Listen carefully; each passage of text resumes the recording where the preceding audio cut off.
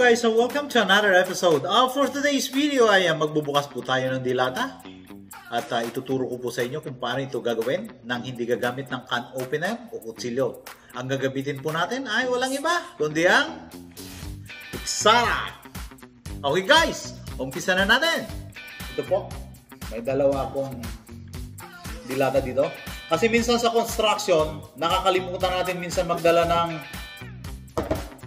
can opener o man na kutsilyo.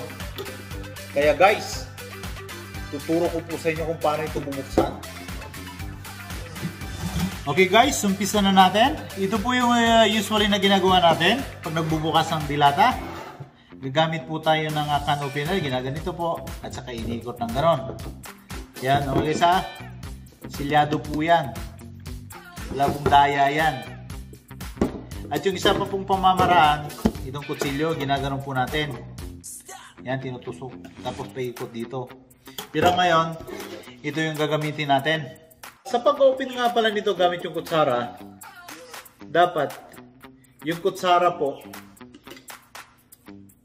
irarab natin ng ilang beses pag ganon. Medyo patagilid po siya. Bali, ang tatama po yung uh, ito. Ito muna yung kanto. Igaganon-ganon muna natin. Tapos pwersa natin, diinan natin ng malakas. Yan. Tapos pag nabutas na po natin, dire-diretso natin unti-unti. Ganyan.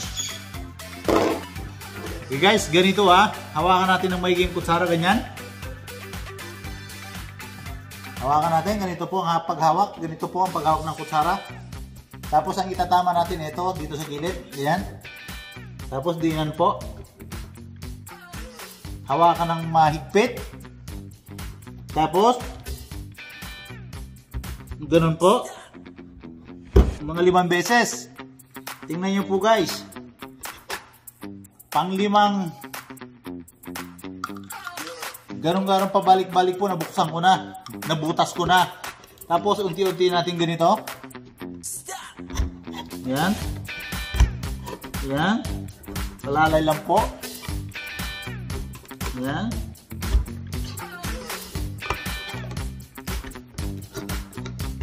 Yan. Pwede rin po natin gamitin to pag wala tayong kukan, lalo pag bukas ng sardinas. Kasi po, minsan, yan na po guys, nabuksan na po. Gamit yung kutsara. Okay guys, uh, nakabukas na po tayo ng isang uh, dilata. Yan, ito po. Ito po ay uh, Angel Cream All Purpose. Yan, nabuksan na po natin. Itatry naman po natin dito sa isa. Ito po yung coconut milk na nakalata. Yan. Ito po guys. Baka sabihin nyo, nandadaya ako. Hindi po. Ito po lata oh. Yan, wala pong wala pong butas yan.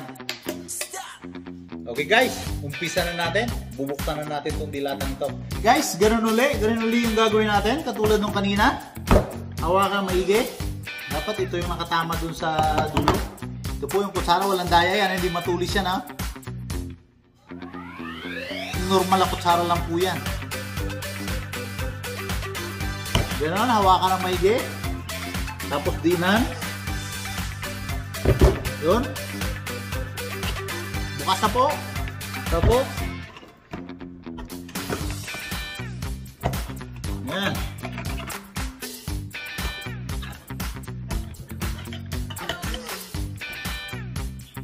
Dumulas po yung kamay ko. Yan guys. Bukas na po siya. Yan po. Wala pong cut yan. Wala. Bukas na po.